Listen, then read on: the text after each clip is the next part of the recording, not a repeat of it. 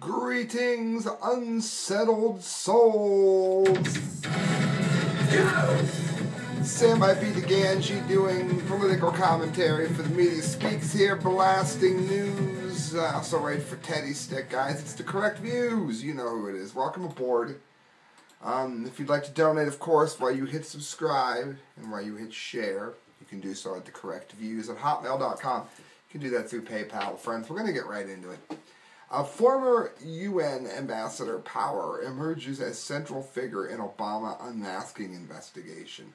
Listen to this, friends. Former United Nations Ambassador Samantha Power's involvement in the unmasking of former Obama administration officials of sensitive security information is raising red flags over insiders' view, over what insiders, excuse me, view as an attempt by the former administration to undermine President Donald Trump and key figures of his team. Now, the reason I'm going after this is how many of you remember uh, what Sean Hannity said last week? That he was going to vigorously go after, uh, it would legally, anyone from the Obama administration who unmasked him. Well, I reported for Teddy Stick today that he's moved ahead with it he's hired some of the biggest attorneys and most powerful attorneys in the entire political spectrum to represent him. It's over a lot of this it's mentioned right here. It says power appears to be the central of efforts to top Obama administration officials to identify individuals named in classified intelligence community reports related to Trump and his presidential transition team. Basically, they did everything they could to sneak in and gather the names of people who they had no business acquiring the names of. Uh, Susan Rice, for instance, is uh, not allowed to unmask or gather data.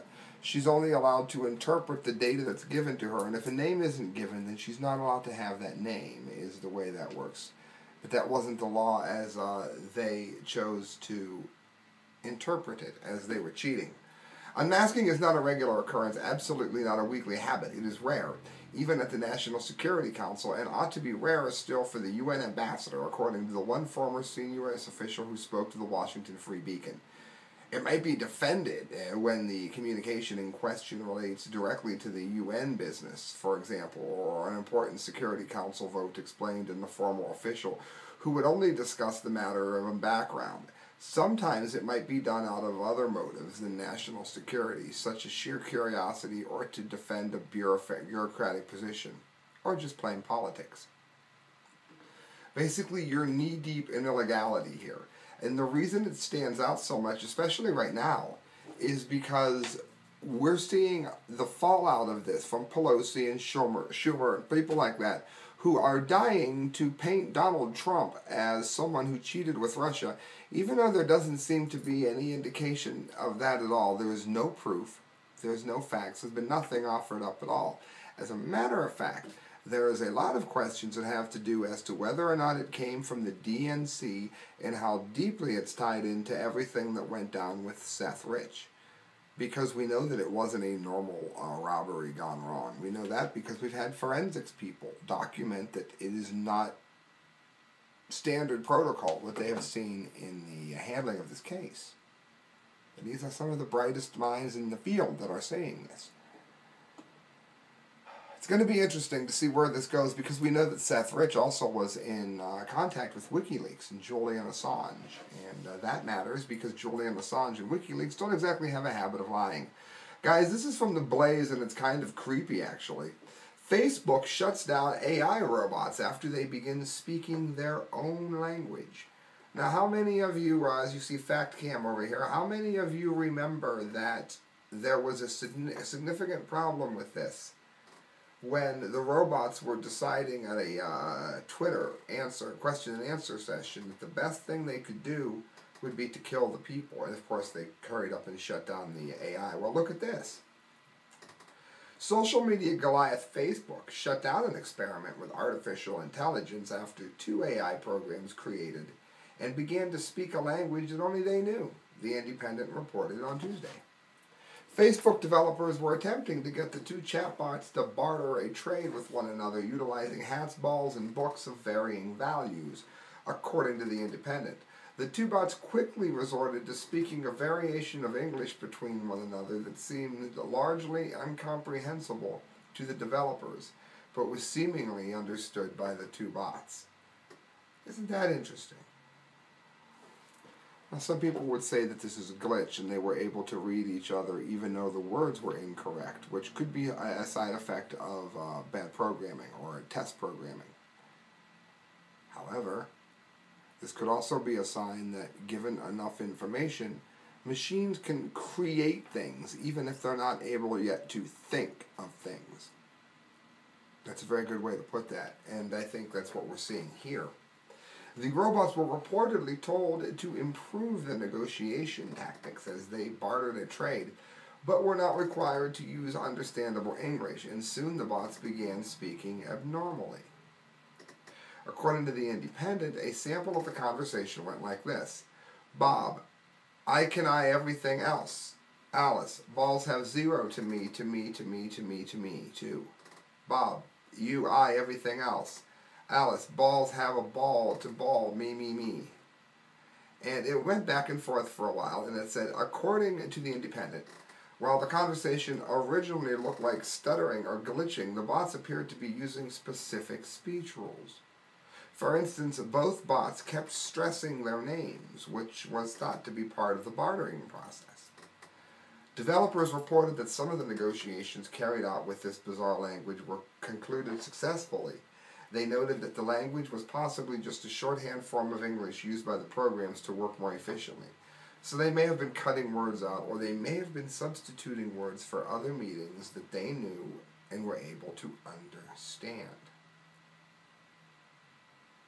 And we're talking about created machines here, obviously, things that were programmed by man. So this this ability to adapt, if not outright learn, is both interesting and troubling, I think. Let me know what you think in the comment line about this. Uh, word of the day, robots. Uh, put it in the comment line. Let me know uh, where to send you some free stuff, and I'll get it out to you. Word of the day, robots. Developers reported that some of the negotiations carried out with this bizarre language were concluded successfully.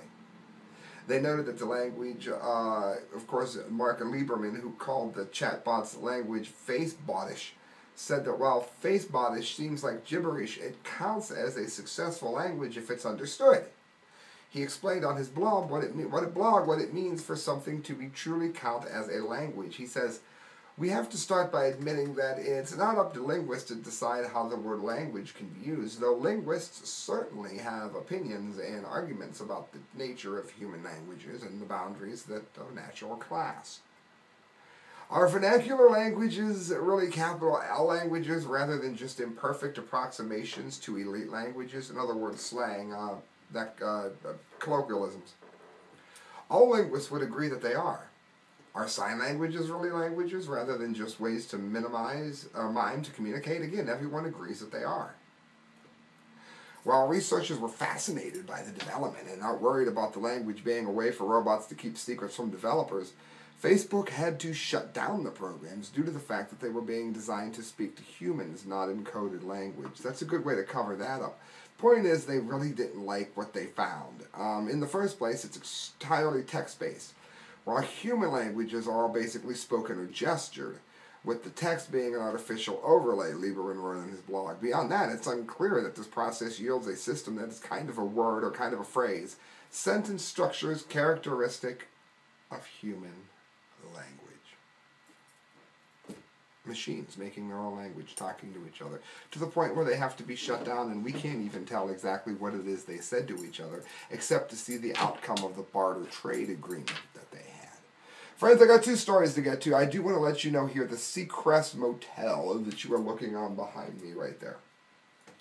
That is where you are going to stay. And you're going to get a really good deal when you do because you're going to tell Vicky or her son who owns the place, hey, I heard about this on the correct views. They said I'd get a discount. Guess what? You will. Tell them the long haired guy sent you.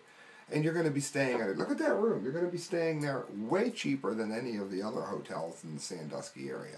You're going to be saving even more above and beyond what Seacrest does because you mentioned the correct views. That's a win win situation. To say the least. Friends, let me go on to the one of the last two I've got here. Scientists discover a new fault line off the coast of Alaska could produce Fukushima-sized tsunamis. Now, I've been getting a lot of um, traffic on my Fukushima videos, so I've been adding um, more of the data that I get as I get it into the shows again, like I used to. So make sure you let me know what you think of it. Every region is associated with at least one type of natural disaster. If you live in the Midwest, you have tornadoes to contend with, and in the South, you have to worry about hurricanes. Folks in New England have to worry about snowstorms, as do us in the Midwest. And people who live in the West need to consider earthquakes and forest fires. We take these for granted, uh, writes uh, SHTFplan.com Mac Slavo. We assume that certain places in the path of specific disasters are immune to others. That, however, isn't the case when it comes to tsunamis, at least not for practical purposes. That's because the scientific community, it says, is still discovering new underwater fault lines that have the potential to cause devastating tsunamis. And if you live near the coastline, your home could be at risk of being swept away, and you wouldn't even know it. In fact, scientists have just discovered a new fault line off the coast of Alaska that could produce a tsunami that is the size of the wave that wrecked Fukushima. Now, we know that these tidal waves risk nuclear power plants. We know this for sure. And of course, they build nuclear power plants on fault lines to have access to water. And when something like this kicks in, of course, they have too much water and then they have cancer instead. Uh, well, listen to some of this. Scientists probing under the seafloor off Alaska have found a, geologic fault they say signals significant risk of mega tsunamis in the future. The feature closely resembles one that produced the 2001 Tohoku tsunami off Japan. Of course, we talk about that all the time, which melted down three reactors, right? We can some argue four. While the Nature Geoscience, the team warned a large tsunami in the area would have devastating consequences to coastal communities. The discovery suggests this part of Alaska is particularly prone to tsunami generation, said study lead author Dr. Anne Bécel of Columbia University in New York. The possibility for such features are widespread and global in significance. The fault is roughly 600 miles off the coast of Anchorage, and according to one of the co-authors of the study, it could make a tsunami a lot more effective. However, this is hardly the first time that scientists have discovered a fault with devastating potential in the reasons that they weren't originally expecting to find it. The Cascadia subduction zone, of course, was another one. And it's capable of causing a 9.0 earthquake that would undoubtedly spawn a tsunami. And it said uh, the scientific community has completely unaware of this subduction zone until just a few decades ago because it will go centuries without producing, producing any earthquakes at all.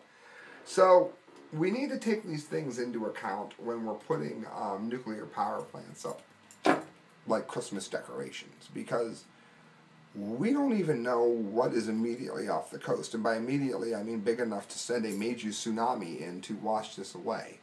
And I think it needs to be monitored and watched much more closely than it is, particularly until enough of us wake up and band together to get these nuclear power plants shut down. And that brings us, friends, to the dumb deer of the day.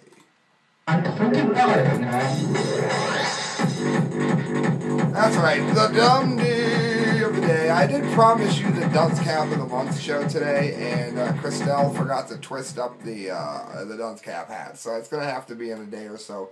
But I do have the dumbity of the day. It's from the Conservative Tribune, and it goes to President Trump for getting rid of Sean Spicer. Uh, I haven't got around to getting to this. But I, I think Spicy was much better than Huckabee is. Um, I think Katrina would have been better than both. But I don't agree with getting rid of Spicy. But check this out. He was a pretty good sport about the hate that he often got. Former White House Press Secretary Sean Spicer has a few words to say about Saturday Night Live. After the White House announced his resignation on Friday, and they were perfect. This, of course, is the date of the 22nd. Um, in an interview with Sean Hannity on the Hannity Show Friday night, Spicer addressed the late night show skits about him. I think that there were parts that were funny, but there's a lot of it that was over the line, Spicer said. It isn't funny, it was stupid or silly or malicious. Spicer acknowledged that he would crack up at some of the gats, but not always. There were some skits on late night television that I did crack up at, Spicy said. How could you not? They were really funny. And I don't even have cable, I just would catch it later. Well, so sometimes he said it can be funny. Some of the memes you have to crack up about, but sometimes it goes from funny to mean, and there's a difference when that happens. Mean is something the left and liberal comedians have plenty of experience with. He also added that a person needs to have a thick skin if he or she is going to carry out the job of a press secretary. And uh, here's a bit of the interview. I'm going to let it ride before we jump out here so you guys can see it. I like a good joke. I think when it's funny, it's funny. You got to laugh at yourself and, and accept that there's some self. Saturday Night Live funny? Did you like that, or did that bother you? I think there are a couple parts of it that were funny, but there's a little bit, there's a lot of it that was over the line. It wasn't just, it wasn't funny. It was uh, stupid or silly or malicious. Uh, but there are some skits that I've seen on late night television that I had to crack up at. Uh, so sometimes it can be funny. Some of the memes you have to have to have to laugh at yourself a little bit. Uh, but there are times when it goes from funny to mean, um, and and that's that's there's a difference when that happens. Um, and again, to your point, yeah, you have to have a little bit of a thick skin if you're going to do this.